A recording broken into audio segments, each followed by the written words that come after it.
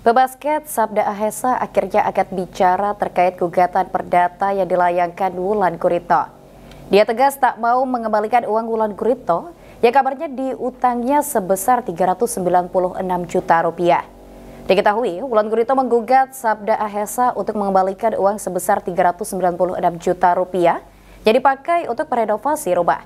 Namun Sabda Ahesa membantah berutang.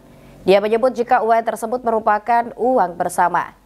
Hal tersebut juga yang menjadi alasan Sabda Ahesa tak mau membayar ke Wulan Kuritno.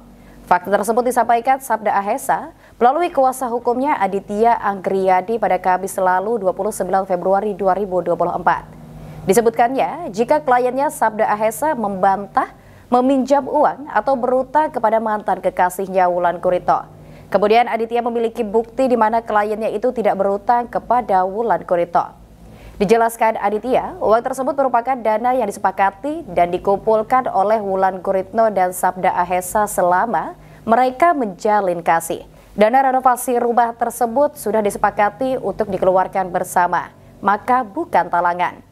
Kendati demikian, Sabda masih ingin menyelesaikan masalahnya dengan Wulan Guritno secara kekeluargaan. Begitupun untuk mengajak Wulan Guritno duduk bareng dengan Sabda menyelesaikan permasalahan tersebut. Terus saksikan dan jangan lupa follow dan subscribe Facebook, Instagram, dan Youtube Bajar Masin Pos. Agar Sobat Impos tidak ketinggalan info menarik dari kita. Sampai jumpa. Download Tribun X sekarang. Menghadirkan lokal menjadi Indonesia.